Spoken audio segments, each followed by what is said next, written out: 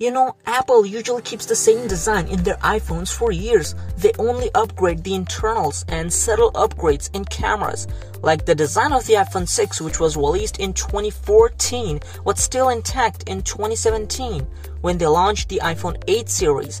Now, 2018 was no exception either, with a major redesign of the iPhone 10. It seemed that Apple was going to keep the same design for at least a couple of years.